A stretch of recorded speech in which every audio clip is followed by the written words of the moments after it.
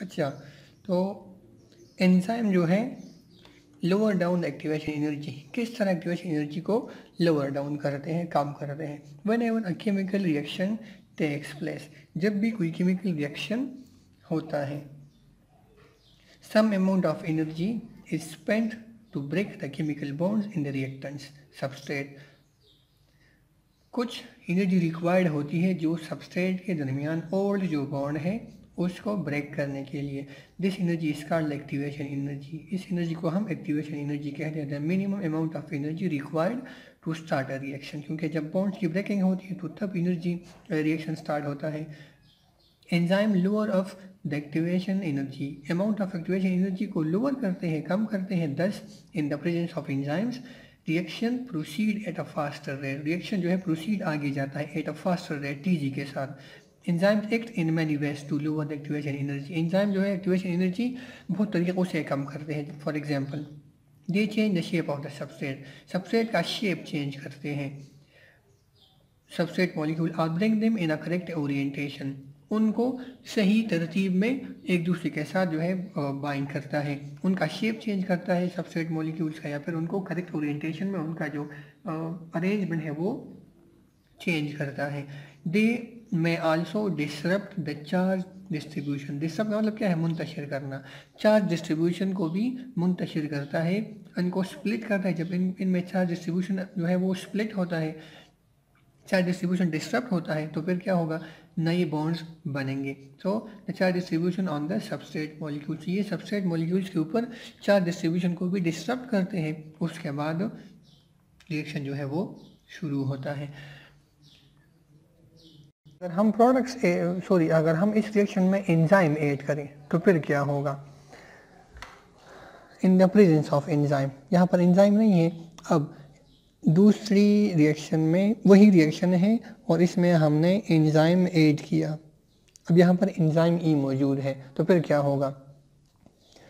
जिनका energy level five या five से ऊपर है, वो तो ऑलरेडी हिस्सा लेंगे तो ये फाइव मॉलिक्यूल्स तो हिस्सा ले सकते हैं रिएक्शन में। अब, जिनका रिएक्शन जिनका एनर्जी लेवल फाइव से कम है दिस वन जिसको हमने क्रॉस लगाया था, इस तरह इसका लेवल थ्री है, इसका टू है। Now in the presence of enzyme अगर एंजाइम मौजूद है even these three subset molecules can also participate in the reaction ये जो तीन सबसेट मॉलिक्यूल्स है, जिनका रिएक्शन जिनका एनर्जी लेवल रिक्वायर्ड से कम था। अब, यहाँ पर ये भी रिएक्शन में हिस्सा लेंगे। तो एंजाइम जहाँ, यहाँ, अब यहाँ पर एंजाइम मौजूद है। तो कितने प्रोडक्ट्स बनेंगे? One two three four five तो पहले से हैं। सिक्स सेवन और एट तो इस रिएक्शन में जहाँ पर एंजाइम हमने ऐड किया है तो सबसेट मॉलिक्यूल्स कितने बनते हैं? हमारे पास ये तकरीबन eight products subset eight products में कन्वर्ट होते हैं। जितना सबसेट है, तकरीबन सारा का सारा ये एट प्रोडक्ट्स अब बन गई। तो इससे हमें पता चला कि एंजाइम क्या करते हैं, किसी भी रिएक्शन को स्पीड अप करते हैं और रिएक्शन के लिए जो एक्टिवेशन एनर्जी है, अब इनका एक्टिवेशन एनर्जी इन मॉलिक्यूल्स का कम था तो एंजाइम ने क्या किया? इनके लिए एक्टिवेशन एनर्जी का जो लेवल था वो बिलो बिलो द मतलब उसको कम किया डिक्रीज किया। तो इस वजह से ये जिनका लेवल कम था, अब ये भी आकर रिएक्शन में हिस्सा ले सकते हैं। फॉर एग्ज़ाम्पल ये अब एग्ज़ाम किस तरह रिएक्शन को स्पीड अप करता है या फिर किस तरह एनर्जी लेवल कम करता है बाय प्रोवाइडिंग एक्टिव साइट अब ये एंजाइम में एक्टिव साइट है। ये क्या है? जो ब्लॉक्स है इमटी ये इसको हम एक्टिव साइट्स कहते हैं। अब जो सबसेट मोलिक्यूल्स हाई एनर्जी रखते हैं, वो तो रिएक्शन में हिस्सा लेंगे। जिनका एनर्जी लेवल कम है तो अब यहाँ पर ये एंजाइम जो है, उनको एक्टिव साइट प्रोवाइड करता है। ये सबसेट मॉलिक्यूल्स आकर यहाँ बाइंड होंगी इन एक्टिव साइट्स में। और कोई भी इंजाइमेटिक रिएक्शन कब स्टार्ट होगा? जब सबसेट मॉलिक्यूल्स एक दूसरे के करीब आएँगी बॉन्ड्स की फॉर्मेशन होगी। जब ये सबसेट मोलिकुल्स आपस में बॉन्ड्स बनाएँगे, तब रिएक्शन स्टार्ट होगा। ये सबसेट फिर प्रोडक्ट्स में कन्वर्ट होते हैं। अब बॉन्ड्स बनाने के लिए एक खास एनर्जी लेवल का होना ज़रूरी है। तो जिनके पास एनर्जी लेवल मौजूद है, वो तो रिएक्शन में हिस्सा लेंगे। जिनके पास वो रिएक्शन वो एनर्जी रिक्वायर्ड एनर्जी मौजूद नहीं है लेवल तो क्या होगा? Then reaction will be slow reaction slow होगा। प्रोडक्ट्स कम बनेंगे। अब इंजाइम मौजूद है। इंजाइम ने क्या किया? इनका लेवल कम किया। एक्टिवेशन एनर्जी का। ये सबसेट एक दूसरे के करीब आ गई। जब एक दूसरे के करीब एक मरतबा आ गई, तब यहाँ पर अब ये ये एक दूसरे के दरमियान यहाँ पर इन मोलिक्यूल्स में बॉन्ड्स की फॉर्मेशन हो गई। जब एक दफ़ा बॉन्ड्स बन गए तो फिर आगे जाकर ये प्रोडक्ट्स में भी कन्वर्ट होते हैं। तो इंजाइम ने इनको एक्टिव साइट प्रोवाइड किया, जहाँ पर ये सबसेट मोलिक्यूल्स आकर बाइंड होते हैं, उसके बाद रिएक्शन स्टार्ट होता है। तो एंजाइम की प्रेजेंस में एंजाइम की मौजूदगी में जो प्रोडक्ट्स है, वो क्या है? हमारे पास ज़्यादा प्रोडक्ट्स बनते हैं। अच्छा एंजाइम कैटेलाइज रिएक्शन इसको हम एक ग्राफ की मदद से शो करते हैं। ये कोई भी रिएक्शन है। एक रिएक्शन एक जगह पर एंजाइम मौजूद है और दूसरी रिएक्शन में एंजाइम मौजूद नहीं है। सबसे पहले आप कंसिडर करें फ़र्स्ट ये ब्लैक वाला ग्राफ आप ये ब्लैक ग्राफ ये ले ये कोई भी रिएक्शन हो रहा है। और यहाँ पर हमने क्या लिखा है? Activation energy E A without enzyme आप ये जो ब्लू है ब्लू को आप इग्नोर करें। ये ब्लू लाइन आप इसको इग्नोर करें। पहले इस रिएक्शन को देखें। ये फ़र्स्ट वह रिएक्शन हो रहा है। अब एंजाइम यहाँ पर हमने ऐड नहीं किया था। जो हमने एग्ज़ाम्पल इससे पहले पढ़ा, वो रिएक्शन वो एग्ज़ाम्पल जहन में रखें। ये रिएक्शन हो रहा है। अब यहाँ पर एक्टिवेशन एनर्जी रिक्वायर्ड है। ये एक ख़ास लेवल का एनर्जी है।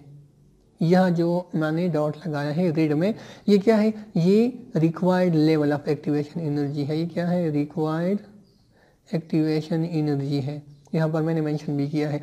अब किसी भी सबसेट मोलिक्यूल्स के पास अगर इतनी एनर्जी मौजूद है तो फिर वो आगे जाकर क्या करते हैं? प्रोडक्ट्स में कन्वर्ट होते हैं। यहाँ पर ये प्रोडक्ट्स से कन्वर्ट हो रहे हैं। अब, जिन सबसेट मोलिक्यूल्स के पास इतना लेवल का एनर्जी होगा तो फिर वो सबसेट मोलिक्यूल्स प्रोडक्ट्स में कन्वर्ट होंगी। तो ये हमारे पास जो फ़र्स्ट रिएक्शन है विदाउट एंजाइम यहाँ पर हमने पहला जो है एनर्जी रिलीज़ और एनर्जी सप्लाइड ये रिएक्टेंट्स हैं, ये प्रोडक्ट्स बन रहे हैं। अब ये इनके दरमियान, ये एक ख़ास लेवल का एक्टिवेशन एनर्जी है जो रिक्वायर्ड होता है। अब सबसेट मॉलिक्यूल्स के पास ये एनर्जी का लेवल मौजूद है तो रिएक्शन में वो हिस्सा लेंगे, जिनके पास उतनी एनर्जी नहीं है तो वो हिस्सा नहीं ले सकते प्रोडक्ट्स बन गई। ये पहला जो था ब्लैक का जो रिएक्शन था, ये ब्लैक जो ग्राफ है, ये एक्टिवेशन एनर्जी है विदाउट एंजाइम अब हमने क्या किया? यहाँ पर हम एनर्जी सप्लाई कर रहे हैं इसको। ये एनर्जी सप्लाइड है, जो जो सबसेट मॉलिक्यूल्स के दरमियान मौजूद है, जो नीचे वाला है यहाँ पर ये एनर्जी रिलीज़ हो रहा हो रहा है। मतलब जिन सबसेट मॉलिक्यूल मतलब जो रिएक्शन में हिस्सा लेते हैं, उसके बाद वो एक ख़ास लेवल का एनर्जी रिलीज़ करते हैं तो ये एनर्जी रिलीज़ हो रही है। ये हमने इसको मैंशन किया energy release during the reaction अब एंजाइम मौजूद नहीं था तो ये लेवल एक्टिवेशन एनर्जी का था। दूसरे रिएक्शन में हम कोई भी एंजाइम हम ई e ऐड करते हैं एंजाइम यहाँ पर हम लिखते हैं, अगर हम इसी रिएक्शन को एंजाइम प्रोवाइड करें, जिस तरह हमने इससे पहले स्टडी किया, जब हम एंजाइम प्रोवाइड करते हैं, ये रिक्वायर्ड एक्टिवेशन एनर्जी का लेवल है। अब एंजाइम ने क्या किया? इनको एक्टिव साइट प्रोवाइड किया तो उनका एनर्जी लेवल कम किया। अब बॉन्ड्स फॉर्मेशन हो गई। एक दफ़ा जब बॉन्ड्स की फॉर्मेशन हो गई तो फिर प्रोडक्ट्स ज़्यादा बनेंगे। क्योंकि एंजाइम मौजूद है। तो अब एंजाइम ने क्या किया? उस लेवल को इतना उसमें गैप पैदा किया, इतना उसमें डिक्रीज आया। तो अब उस पॉइंट के बजाय एक्टिवेशन एनर्जी का जो पॉइंट है, वो यहाँ इतना है। अब जिन मॉलिक्यूल्स के पास इतनी लेवल की एनर्जी होगी, वो भी रिएक्शन में हिस्सा लेंगे। जिनके पास ज़्यादा है, वो तो ऑलरेडी हिस्सा ले रहे हैं रिएक्शन में। लेकिन जिनके पास एनर्जी लेवल कम था, अब यहाँ पर वो वो सबसे मॉलिक्यूल्स भी रिएक्शन में हिस्सा ले रहे हैं और उसी तरह प्रोडक्ट्स की फॉर्मेशन पर हो रही है। तो ये है ये जो दूसरा आ, हमारे पास लेवल है ये एंजाइम की एडिशन हो गई है यहाँ पर। हमने एंजाइम ऐड किया है तो activation energy with enzyme added जब हम एंजाइम ऐड करते हैं तो ये एक्टिवेशन एनर्जी है। अब एंजाइम ने क्या किया? इतना लेवल एंजाइम ने कम किया और वो जो रिक्वायर्ड लेवल था वो यहाँ पर आ गया। तो अब जिन मॉलिक्यूल्स के पास एनर्जी होगी, वो भी रिएक्शन में हिस्सा लेंगे तो एंजाइम एडेड और activation energy with enzyme added glucose plus oxygen ये रिएक्टेंट्स है, जिसको हम सबस्ट्रेट कहते हैं ग्लूकोज सबस्ट्रेट है। अब यहाँ पर एंजाइम भी यूटिलाइज हो रहे हैं। एंजाइम जो है मतलब अपना काम कर रहे हैं। यूटिलाइज तो नहीं होते, लेकिन अपना काम वो रिएक्शन को स्पीड अप कर रहे हैं। Carbon dioxide plus water plus energy, ये प्रोडक्ट्स बन रहे हैं। ये रिएक्टेंट्स या जिसको हमने सबस्ट्रेट कहा था, ये प्रोडक्ट्स बन गई। अब अगर एंजाइम मौजूद नहीं है तो प्रोडक्ट्स कम बनेंगे और टाइम भी ज़्यादा लगेगा। लेकिन अगर एंजाइम मौजूद है तो प्रोडक्ट्स ज़्यादा बनेंगे टाइम कम लगेगा और एक्टिवेशन एनर्जी भी कम हो गई। तो यहाँ पर overall release energy during the reaction है। रिएक्शन के दौरान एनर्जी रिलीज़ हो रही है तो यहाँ पर एनर्जी जल्दी रिलीज़ होगी, क्योंकि रिएक्शन जल्दी स्टार्ट होगा। यहाँ पर एनर्जी रिलीज़ हो रही है, लेकिन टाइम ज़्यादा उस पर लगता है क्योंकि ये टाइम कंज्यूमिंग इसलिए है कि यहाँ पर इंजाइम हमने एड नहीं किया है। तो ये इंजाइम का जो एक्शन है कि किस तरह वो एक्टिवेशन एनर्जी को डिक्रीज करता है। अब एक्टिवेशन एनर्जी को डिक्रीज करने के बहुत सारे तरीके हैं, जिस तरह के हम कहते हैं एंजाइम जो है क्या करता है? चार्ज डिस्ट्रीब्यूशन डिस्टर्ब करता है। चार्ज डिस्ट्रीब्यूशन सबस्ट्रेट मॉलिक्यूल्स के पास एक ख़ास उनका उसके ऊपर एक चार्ज होता है। तो चार्ज डिस्ट्रीब्यूशन को डिस्टर्ब करता है। या फिर सबस्ट्रेट मॉलिक्यूल्स को क्या करते हैं? Bring them in correct orientation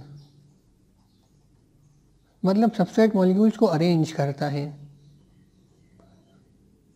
उनकी अरेंजमेंट करता है और उनको एक ख़ास सीक्वेंस में इस तरह बाइंड करता है। तो ये इंजाम या फिर इनको हम कहते हैं एक्टिवेशन एनर्जी प्रोवाइड करता है। इसके ऊपर चार्ज जो मौजूद है, एक ख़ास उनके ऊपर सबस्ट्रेट मॉलिक्यूल्स के ऊपर एक चार्ज होता है प्लस या माइनस चार्ज उसके ऊपर होता है।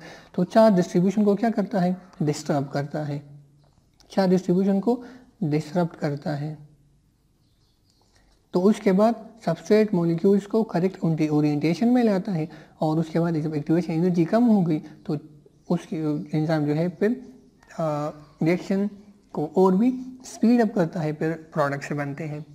तो ये हमारे पास था how enzyme lower down the activation energy तो हमने ये समझ लिया कि एंजाइम एक्टिवेशन एनर्जी को कम करते हैं या किसी रिएक्शन को स्पीड अप करते हैं तो उसके लिए एनर्जी लेवल का होना ज़रूरी है एक रिएक्शन के लिए, जो कि हर एक सबस्ट्रेट मॉलिक्यूल्स के पास उतनी एनर्जी नहीं होती। फिर इंजाइम क्या करते हैं? उन सबस्ट्रेट उन उन कम एनर्जी वाले मॉलिक्यूल्स के लिए एनर्जी लेवल कम करते हैं। बाय प्रोवाइडिंग एक्टिव साइट जब उनको एक्टिव साइट मिल जाता है तो फिर सबस्ट्रेट मॉलिक्यूल्स एक दूसरे के साथ बॉन्ड्स बनाते हैं। जब एक दफ़ा बॉन्ड्स बन गई, ये रिक्वायर्ड होता है रिएक्शन के लिए। जब बॉन्ड्स की फॉर्मेशन हो गई तो उसके बाद फिर प्रोडक्ट्स आसानी के साथ बनते हैं। तो ये हमारे पास था how enzyme lower down the activation energy या mode of action of enzyme के। एंजाइम की एक्टिविटी किस तरह है?